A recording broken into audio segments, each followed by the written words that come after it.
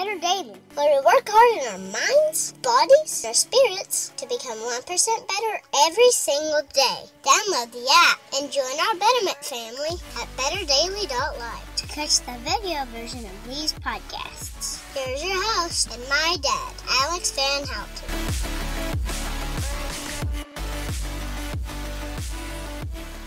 What's up, Betterment family? This is Alex Van Houten in Better Daily Live. Happy Monday. It's Mindset Monday, and I'm super excited about today's mindset. Today's mindset is don't be a zombie. I'll expand that in just a second. I did want to say that we have three more days until the Better Man Challenge registration closes. If you or somebody you know is looking to improve themselves and start working toward betterment as a man in the areas of mind, body, and spirit, this is the challenge for them. I'm going to put the link in the description below. Right now, we have eight brave souls who are going to be moving forward in this challenge, and we've got a few more spots left. If there are any last minute registrations, we're going to kick things off next Wednesday, and that'll be the start of the challenge, but registration closes in three days. So, that said, today's mindset is don't be a zombie. Now, something you might not know about me, I love zombie movies. zombie, I'm, I'm kind of obsessed actually. And you can ask just about anybody who's close to me zombies are something very interesting to me. I think Resident Evil was the first zombie movie I watched, and I was probably like 12 or 13, something along those lines. And then I was captivated by the idea. You know, it's blood, guts, and gore, and there's a survival element to it. Most of them are action movies. Some of them have love stories involved. And I think uh, there's World War Z. Brad Pitt saves the world because he breaks into a facility and figures out that if everybody has a mild version of a virus, those zombies won't chase after you, right? And then there are a couple actual series that are about zombies. The, uh, uh was it the Walking Dead series? That was a really interesting one. It got really dark after about three seasons, so it was more about exploring what terrible governmental structures humanity can can construct from nothing in a brutal environment like a zombie apocalypse. But I recently saw on Netflix they have this new uh, All of Us Are Dead is the new zombie series, and I always like checking out what the newer versions of zombie stories are because it's interesting to see what ways we take that as a culture. I was curious as a kid about the idea that the world kind of falls apart and then who are we? What happens? You know, the, the civilized facade kind of melts away and, and people are fighting over Twinkies and stuff. And so that, that was really interesting to me as a kid outside of the, you know, idea of running away and, and what would happen if, if zombies took over. Maybe I would post up at Walmart. I had this elaborate plan when I was like 17. I was like, I got the zombie thing kicked. You know, I'd hang out in, in Walmart. There were these rafters up top and you could tie ropes across. That's in my thought. You go to the camping section, you tie ropes across and then you have an unlimited supply or nearly unlimited supply, depending on how many survivors you had with you of food and water and stuff. And so Walmart was my, was my safe haven. anyway, what the heck does this have to do with Betterment, Alex? today's mindset is don't be a zombie. And as I've gotten older, one of the things that I'm really interested in in this whole zombie culture is actually zombies as a metaphor for what happens in life when people lose their divine spark. So, and I'm going to back that up and, and talk about science for a second. So in, in neuroscience, one of the things that we're learning is that there is a part of you that's conscious, that makes decisions. You can call that executive functioning right? Your, your frontal lobes, that's right here, right behind your skull in the front. Your frontal lobes are responsible for complex problem solving, uh, decision making. If you have something you have to decide on, there's something in your life where you could go this way or that way and you have to decide which way you're going to go. There's executive functioning and that's something you actually have some control over. Not a lot of control, but a little bit of control. And in neuroscience, they've tried to quantify that. How much of us is conscious? How much of us is something we can be aware of, something we can control, right? How much of us is there? And then how much in, in our minds, how much of it is on the back burner? How much of it is unconscious? How much is going on back here that we don't even attend to, that we don't have control over even if we wanted to? And it's really interesting. They've actually come to the and, this is a really hard number to quantify. Some say a little more, some say a little less. But they've actually come to a consensus, and that is that about 1% of you is conscious and the other 99% of you is not. Like if that doesn't blow you away, it really should. Okay. And, and think about this with me for a second. So for instance, I'm talking to you. I have conscious control over whether or not I use my hands to talk to you. But if I'm not thinking about it, my hands are going to do weird stuff anyway. you see, if you're watching the video version of this, you know, uh, Coach Alex just can't put his hands down. I can, I can, oh, I can hold them at my sides and talk to you, but it's really hard. I have to think about that. So in the 99% of me that's unconscious, part of that is my hands move. How about a different example? If you ate dinner yesterday, you're not in a fasted state right now, you ate dinner yesterday, then your body is currently undergoing a digestive process. Peristalsis is the process by which your smooth muscle moves food all the way through the digestive tract. There are digestive enzymes that are being excreted at just the right time for you. And that's all controlled in that 99% of you that you don't have control over. You're not thinking like, okay, now bile salts, go.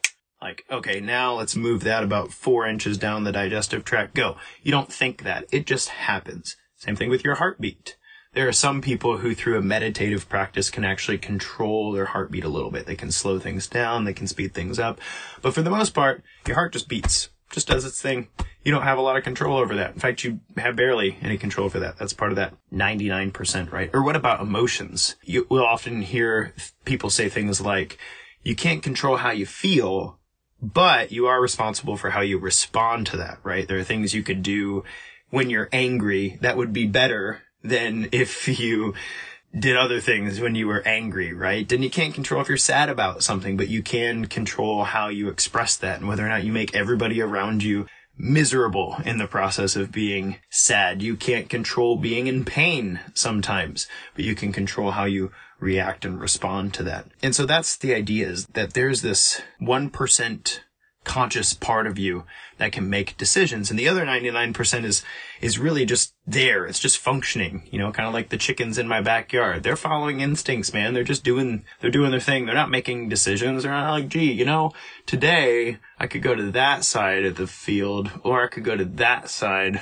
and hang out with my friends so what, what do I want to do? Chickens don't do that. They don't contemplate. They don't think. They don't make decisions. They're instinctual. The 99% of us that's subconscious is the 100% for a chicken, right?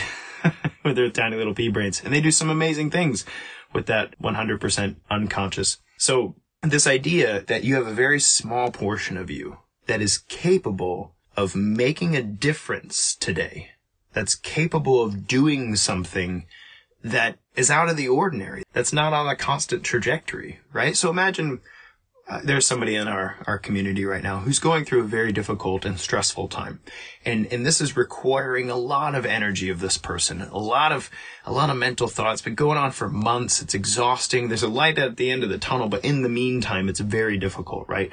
What if that person today is like, you know what? I got all this going on and the 99%, the subconscious part of me can keep this going. I can keep putting things together and I can keep arranging things and I can keep showing up and, and doing what everybody needs me to do. But, but this person comes across somebody at the gym that they haven't seen in a while and they stop and they say, you know what? I'm going to go talk to this person real quick.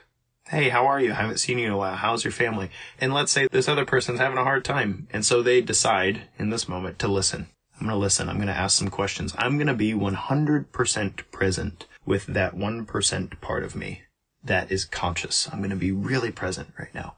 And when that happens, what's cool is you go from the automaton part of you, the part of you that is kind of just going with the flow, doing what needs to be done, almost like the mundane things in life.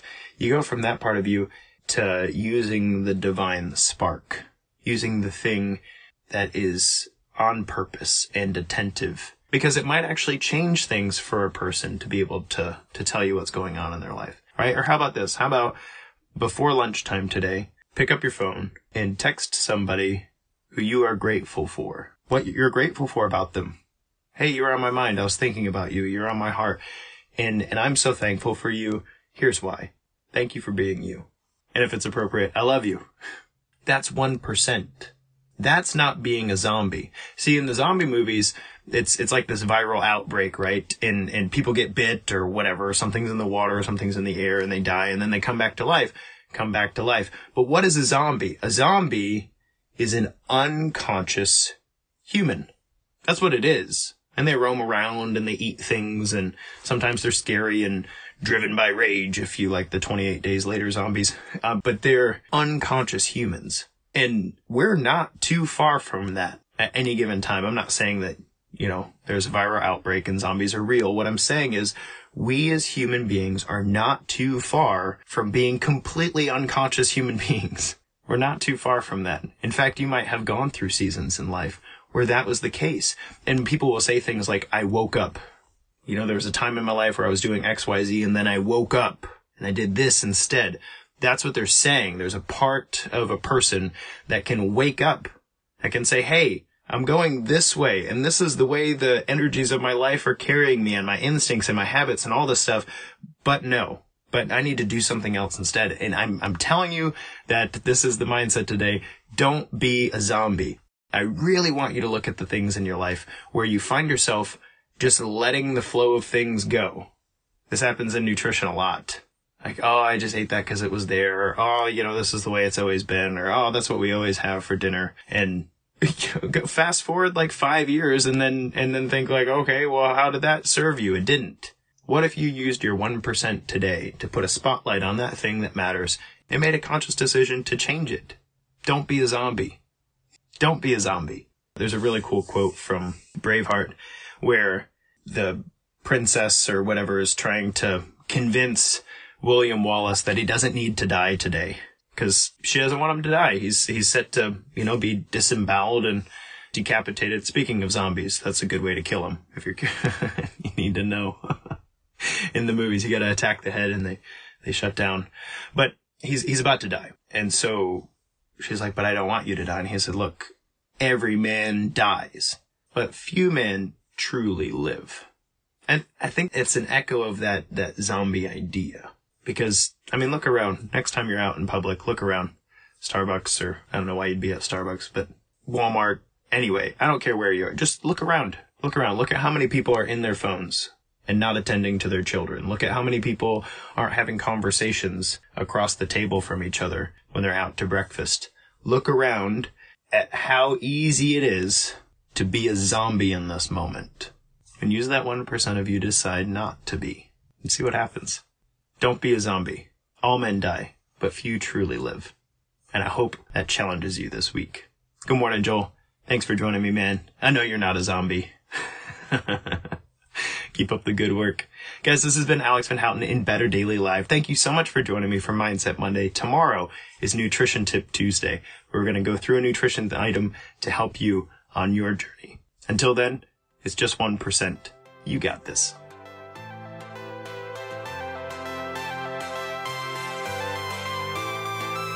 Thank you for joining us for 1% Better today. Don't forget to subscribe for the podcast. Leave us a raving review to tell others how Better Daily has helped you in your journey. If you want more Better Daily, download our app and join our Betterment family at betterdaily.live. Use code POD to get 25% off your subscription. That's P-O-D, all caps, to save 25% on your subscription. We all have a cross to carry. It's later when we do it together. Go to betterdaily.live today.